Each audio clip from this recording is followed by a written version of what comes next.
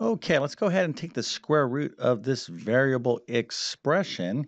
And any of you out there that are studying algebra, uh, and I'm talking algebra 1, algebra 2, or beyond, maybe not quite pre-algebra, but even those of you in pre-algebra are going to see some uh, version of this. But you need to be able to simplify expressions with square roots and what we call radicals. Uh, and this particular problem there's a couple different ways you can approach it, but there is only one final answer, and I'm actually going to show that to you in one second.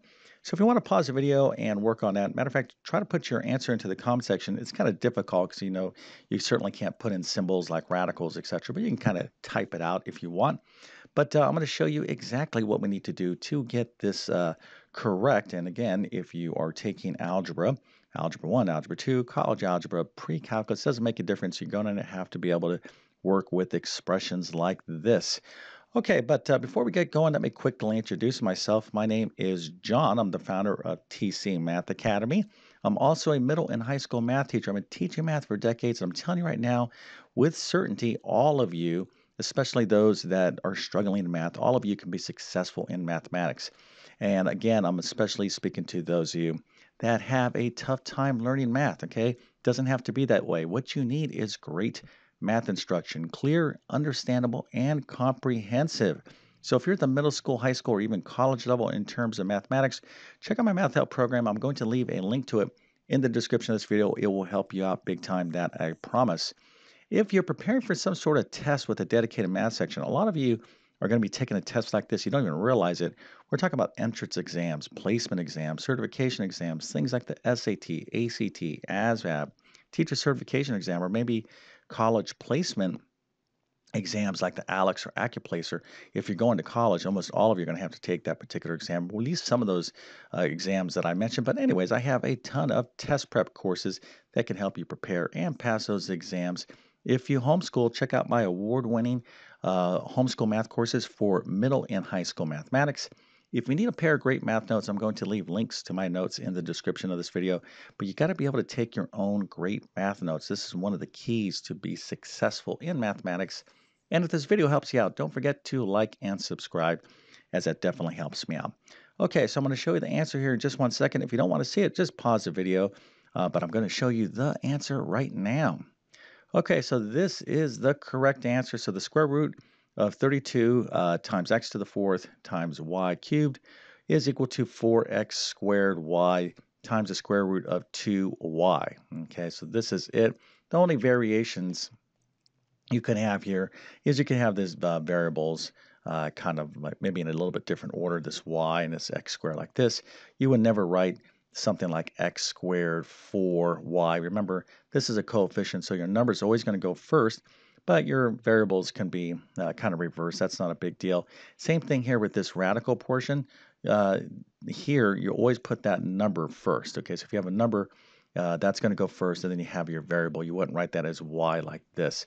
Technically, these are the same, but um, this is not the correct way to write this. But anyways, there you go. This is the correct answer. And how many we got this right? If you got that right, well, I must go ahead and give you a nice little happy face and A plus. Matter of fact, I'm going to give you 110% and multiple stars because that was pretty awesome. That the fact that you know how to simplify an expression like this into something like this. Now, uh, there's a couple different ways you can think about doing this problem. It all depends kind of how maybe um, some of the techniques that your teacher emphasized. You kind of need to know all of them, but I'm going to show you what I would um, suggest is kind of the preferred way to think about doing this. But again, if you got this right and you took a little bit different path than I did, that's perfectly fine. Stick with that. But you might be interested in seeing how I'm going to do this. So let's go ahead and get into the solution right now. Okay, so the first thing we want to kind of realize is that when you were taking the square root of a number, like the square root of 4, that's equal to this number, 4, to the 1 half power. So this little radical sign, there's actually a little tiny 2 up here that we don't write. So let's look at the pattern here. So we have the square root of 4 is the same thing as 4 to the 1 half power. This number right here is the denominator. You always have a 1 as a numerator. And let's go ahead and just kind of uh, see this more clearly by the cube root of 5. Okay, so cube root of 5, you can write that as 5 to the 1 third power. Again, this is your denominator. And if you wanted to just to kind of see this in your calculator, let's uh, take this for example, 4 to the 1 half power. You can go 4, and then you usually have a little key like that. It's called a caret key or a y to the x key, but you got to use parentheses when you're dealing with fractional exponents. So you put 1 over 2. If you put this into your calculator, you'll see you'll get the answer 2 because the square root of 4 is 2. So, you know, if you don't quite, you know, I don't want to say don't believe me, but if you just wanted to kind of show, uh, prove to yourself that this is in fact, you know, equivalent, we call these are called rational exponents. It's something you absolutely need to know. But we're going to use uh, this concept to uh, solve this particular problem. Now, again, you, you could just break these up into individual uh, square roots, but I'm going to kind of go this path because uh, you need to know rational exponents. Okay, so let's go ahead and take a look at our problem. We have the square root of 32 times x to the fourth times y cubed. Let's go ahead and look at this, okay, or rewrite this problem as 32 x to the fourth y to the cube all to the 1 half power. Okay, so I'm going to use uh, rational exponents here to simplify this expression. Okay, so before we get going, there's a couple um, rules. Actually, there's a few other different things that you need to know about properties of powers and exponents. And one of them is this. Um, we have this one half power, then we have uh, various powers. We're basically taking a power to a power. So how does that work in algebra? Well, let's take a general kind of rule. a to the m times b to the n, all that to the x power. Basically, the rule goes like this, or the property. You can just distribute this outside exponent to these um, uh, in, inside exponents, okay?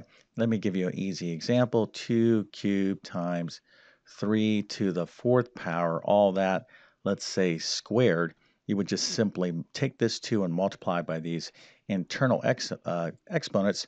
So this would be equal to 2 to the what? Uh, 2 times 3 is 6. And then here we have 3 to the 4 times 2 is 8. Okay, so that's how the rule works. So we're going to have to keep that in mind when I distribute this 1 half to all these um, exponents on the inside.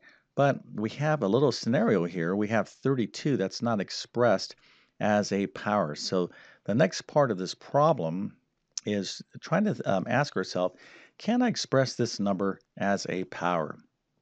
And the best way to, uh, to try to rewrite a number as a power is to prime factors. So just start factoring this number. So 32 is the same thing as what? Oh, it's like 4 times 8. And then uh, 8 is, of course, uh, equal to 2 times 2 times 2. And then 4 is 2 times 2. So 32 is 2 times 2. And then these three 2's uh, here. So uh, 2 to the fifth power, we multiply 2 by itself five times, that is 32. And I purposely put that number in to make it work out this way because on your typical homework uh, proms, quiz, and test proms, you're going to have a number, something like this, generally that you're going to be able to break down. So let's write 32 as a power. So we'll write it as 2 to the fifth. And of course, we have the rest of our problem right here. And now we're going to take that all to the 1 half power. Okay, so what do we do now? Well, now let's go ahead and apply that rule and we're going to multiply this outside exponent to all these interior exponents. So 1 half times 5, that gives us 5 halves. 1 half times 4, that gives us 2 right here. And then y cubed, that uh, to the 1 half will be to the 3 halves. So here's the thing. Uh, a lot of you um, were probably taught something like this. Again, there's a diff very different variations you can take uh, to um, do this problem. And you should know all of them, but this is kind of, in my experience, that when students get to this point, sometimes they get kind of confused with these exponents because we have to kind of convert these back into radicals uh, and simplify from there. So, for example, uh, 5 halves is the same thing as uh, 2 and 1 half, right? So if I take 5 and divide it by 2, that's the same thing as 2, oops, let me write that a little bit better, 2 and 1 half. And then we need to be able to think about uh, the property of multiplication of powers. Let me explain this. So if I have 2 squared times 2 to the 1 half, how do I um, manage this? Well, in algebra, if you have the same base and you're multiplying powers, you simply add the exponents. So 2, uh, for example, here, this would be 2 plus 1 half or 2 and 1 2, and I can't even write that, I'll tell you. Maybe because I'm just not giving myself enough room. By the way, too, that happens with a lot of students. They did kind of cram their work. I'm kind of cramming my work here, and look what's happening. I'm making mistakes. So learn from my mistakes. Believe me, um, I've made a ton of them through the decades. I still make math mistakes. The key is to try to get them down to the smallest percentage possible. That's why you always constantly got to be double checking your work. Okay, but anyways, you need to understand that. Let's look at one more quick example. If I have 3 to the 7th and I'll multiplying by 3 squared, because the bases are the same, I can simply um, add the exponents when I'm multiplying. So that would be 3 to the ninth power. Okay, so why do I say that? Well, here, if I want to think of 2 to the 5 halves power, I can think of that as 2 to the 2 and 1 half power, but this is very confusing. So you would want to break this up into an expression like this. And be like, oh, okay, that's the same thing as 2 squared times 2 to the 1 half. Um, and typically, uh, a lot of times students get kind of confused with that. So let me give you kind of a, um, a little bit easier way to think about this. Now, because we're distributing a 1 half, we're going to be dividing by 2. Okay, so uh, 2 divides nicely into even numbers. So let's kind of rewrite these powers on the inside such that we get a lot of even numbers. Let me show you what I'm talking about here. So let's say 2 to the 5th. I'm going to write that this way, 2 to the 4th, because that 4 is a nice even number. Then I have 2 to the 1st. Okay, so this right here is the same thing as 2 to the 5th.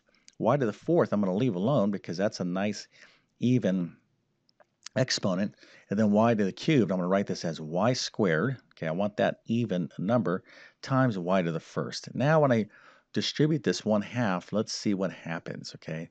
Just makes our life a lot easier. So I'm going to take this 1 half and um, multiply it by all these powers right there. So let's go ahead and do this one at a time. So this would be uh, 1 half uh, to 2 to the 4th to this 1 half. That's 1 half times 4 that's going to be uh, uh, 2 squared, right? Because it's 4 times 1 half, 2 squared. So that's that one. And then 2 to the first, okay, this 1 half to that exponent right there is simply just 1 times 1 half. So that's 2 to the 1 half. And I'll talk about more about this in a second. Then y to the fourth times that 1 half is going to be y squared. y squared to this 1 half is simply y to the first. And then I have y to the first times that 1 half right there. That leaves me with y to the, um, to the 1 half power. Okay, so now let's go ahead and start cleaning this up. So 2 squared is 4. Now, what is 2 to the 1 half? Remember, if I said here's the square root of 2, this is equal to 2 to the 1 half. So hopefully you can see how these um, rational exponents, especially something like to the 1 half power, that means the square root. So I'm going to go from rational exponents back into uh, square roots or radicals. And that's typically what's going to be asked of you on uh, particular math questions that you're going to be having. Most common type of approach. So you, your teacher's not going to, they may let you leave your answer like this, but probably not. Okay, they're probably going to want an, of this type of version. So let's continue on. So I have x squared right here. y to the first is simply just y. And then y to the 1 half, again, is going to be the same as the square root of y. So here we have 4. Okay, let's go ahead and just start um, multiplying. This is all one product. Let's get all the numbers together that are, don't have a radical or square root. So that's 4 x squared and y. So this is going to be 4 times x squared times y. We'll write that right there. Now I have the square root of 2 times the square root of y. So what's that equal to? So square root of 2 times the square root of y. There is a property, uh, again, of radicals and square roots that you could just put this under one big square root. So that says 2 times y or the square root of 2y. And we're going to write that right here. Okay. And again, this is your final answer. Some of you, all depending on your teacher, may let you get away with this version uh, of the answer. But I can tell you right now, 99.9% uh, of you are going to have to do this. And even if your teacher is allowing you to, to do that, I'm just telling you, you need to know uh, this stuff. You need to be able to work with these radicals and square roots. And again, there's a couple different approaches. If, if you got this right, okay, uh, and you prefer your method of uh, doing this, then stick with it. Okay, but you definitely need to be aware how I kind of manage this and just really, this is kind of an exercise in working with those rational exponents. But um, anyways, hopefully this video helped you out. If that is the case, don't forget to like and subscribe. And if you need help with this stuff, um, I typically teach, well, all this is really like Algebra 1, but I really get heavy duty into rational exponents equations uh, in the sort like in my Algebra 2 college algebra course. Of course, some of you might already be at the pre-calculus level and need um, kind of just a quick review on this. But uh, again, what you don't want to do is just be like, yeah, I still don't kind of get this, and hopefully I'll never see it again. Don't want to do that because you definitely will if you're going to stick around and continue to learn math, which I hope you do. All right, so with that being said, I definitely wish you all the best in your mathematics adventures. Thank you for your time and have a great day.